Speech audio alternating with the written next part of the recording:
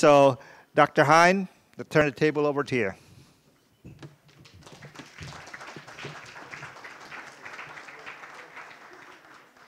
Thank you, Bill. Uh, pleasure to be here. Uh, this year, it's, it, Agi, isn't this the most number of participants in this meeting ever? Yes? Did you say uh, 230? Because when we first, first started planning, we were saying two, uh, 125, 130, something like that. It's really remarkable. So, congratulations. It's great. Um, I uh, have the honor of uh, hosting a, a, a, short session here on the surgical aspects of pancreatic cancer. Um, we all, as uh, Dr. Wainberg described, work together as a team, and we have some of our uh, central team members here, really core members, Lauren D'Amato and Stephanie, who are both uh, nurse practitioners. Uh, they are the linchpin for the entire pancreas program at UCLA. So I just wanted to recognize them.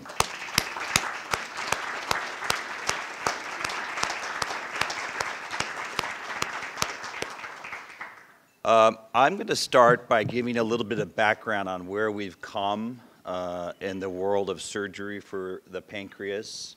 Uh, I'm really sort of talking about the antiquities, and then we have two new, fresh, freshly trained experts in pancreatic surgery are going to give you a, a more forward-thinking approach to how we're addressing surgery and pancreatic cancer. Um, and uh, uh, it's going to be a nice session, and you'll be able to see uh, sort of the whole arc of where things have come from the very beginning. So traditionally, the, this Whipple operation that many of you all have heard of, not everybody here had a Whipple operation. Some people had different types of pancreatic surgery, a distal pancreatectomy or a partial pancreatectomy. But traditionally, this operation has always been thought to be the most difficult of operations. It's the big gastrointestinal operation, and uh, the outcomes were not great. Uh, up to the, say, 1970s, uh, very high mortality rates. One in four patients died uh, if they went to the operating room and had this operation. High complication rate. And then if the patient survived, it wasn't such a great life afterwards. And really, for such a long time, the five-year survival for patients who had surgery for pancreatic cancer was really quite dismal. Just to give a little bit of anatomy uh, of where the pancreas is, uh, if I can find our pointer. Here we are. So this is the back of the stomach, kind of stomach is flipped up here. This is the duodenum the head of the pancreas, the body and tail. The pancreas, here's the spleen, the kidney sitting back behind. And when we do a Whipple operation, this is what we take out. So here's the head and what we call the uncinate of the pancreas, the first part of the intestine of the duodenum. And then we also take out the gallbladder and make new, three new connections so that the pancreas, the bile duct, and the stomach can empty normally. So we do some replumbing.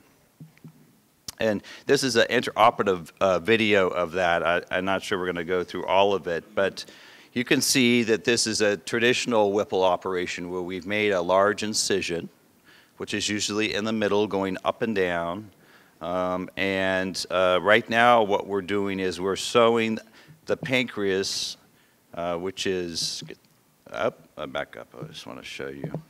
This right here is the cut edge of the pancreas. This little is a stent in the pancreatic duct, and this is the intestine that we're going to be sewing the pancreas to. So very invasive, uh, a lot of things happening. Um, uh, you know, the, the visualization is really only from the top above. Um, and so it, it's, uh, it, it's, it's a tricky operation, as I said. Uh, but these days, patients do pretty well. The first Whipple operation was actually done in 1898 by a man who's not named Whipple. Okay, this is Alessandro Codivilla, and he was uh, a professor in Bologna, Italy. The patient died 24 days after the operation from widespread disease, and it was the only time he ever did a Whipple operation. So this is actually the father of the Whipple operation.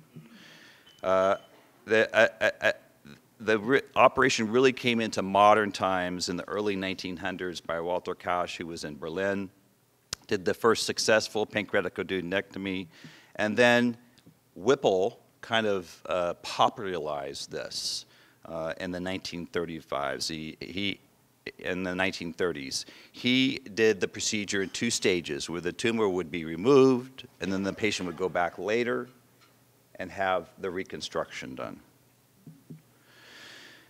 And so from the 1930s until up to the 1960s, uh, Whipple operations, uh, very high mortality, not a lot of them done. Um, and it was controversial as to whether or not we should be doing it or not. In fact, if you had a mortality like that, with a survival like that that I said, there was a lot of discussion of whether we should be even doing this operation because the outcomes were pretty bad for pancreatic cancer anyway, and weren't we just making it worse by taking them to the operating room? And for the first time, uh, uh, uh, a gentleman, uh, John Howard, who is at Indiana University, reported 41 consecutive Whipples without an operative death. Um, and this is really a big a big thing, uh, subsequently extended to 72 resections, and overall uh, uh, mortality was really very low. And this was the very beginning of when Whipples began to become safe. And so today, mortality for this operation is less than a percentage point at places that do a lot of them. So pancreatic surgery is safer for a variety of reasons. First off, we have much better imaging. We can see things better on a CT scan. Imagine in the 1980s, when we really didn't have CT scans making decisions on whether or not the patient should go to the operating room. Operations are safer. We have better techniques with perioperative management and working with anesthesia. We have standards in which we follow patients after the operation. And if a patient does have a complication, our colleagues in interventional radiology can put a catheter into areas and drain things in very creative and amazing ways that improve our outcomes for the patients. And over the last 15 years, these operations have begun to consolidate at large volume centers, a little bit less in California. And it's because we have a very complex health network in the state of California. We have a very large, the Kaiser system has 40% of the lives in the state of California. We have a lot of other large systems. We have a big state and a lot of people. Um, so this, our, our, our state is a little bit different, but the rest of the country, it has really consolidated so that small hospitals are not doing these operations anymore. But in the state of California, still over half of the pancreatic surgery is done at hospitals that do only one or two of those a year. Um, there was a lot of work done here at UCLA by the first chair of surgery, uh, William Longmire, in this field. He was an expert surgeon, became an international figure, and is a sort of a, a modern uh, uh, godfather of, of surgery in the U.S. and really across the world. He passed away in 2003, but he popularized this concept of a pylorus preserving procedure where the whole stomach is preserved. The idea was you have better nutritional outcome, if you left all the stomach in place. And we didn't need to really resect all the stomach because there was no oncologic reason to do it, meaning we, needed, we weren't leaving cancer behind if we didn't take uh, the tumor uh, out. And so it was here, uh, Bill Traverso and, and Bill Longmire, who popularized the pylorus preserving uh, Whipple operation. So that's part of our legacy at UCLA. Dr. Reber uh, came along in the 1980s, late 1980s to UCLA. And just so you will know, Dr. Reber is one of a few gods of pancreatic surgery in the world right now.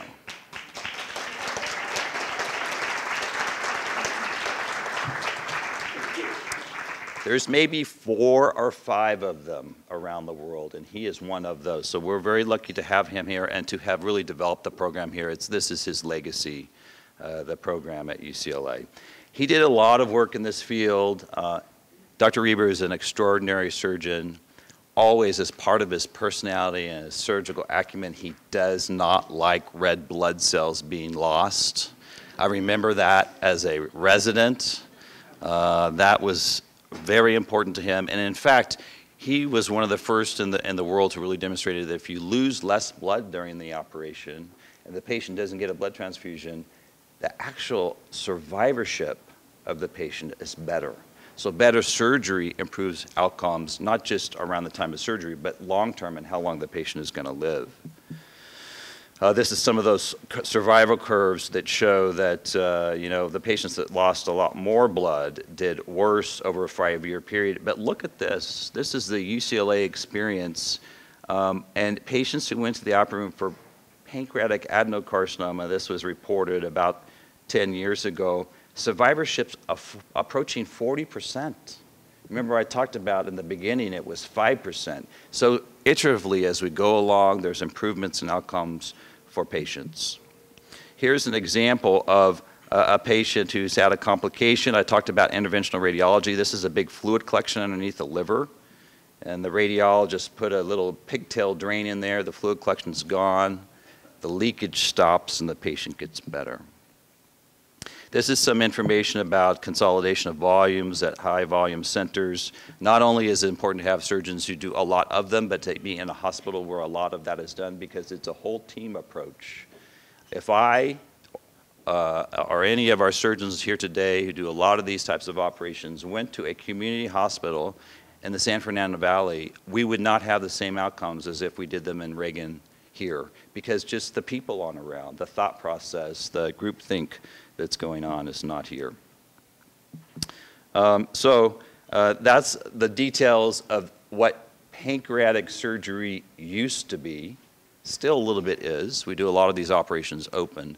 But what we wanted to do is talk to you today about advances in surgical technique um, and the idea of using robotics to do pancreatic surgery.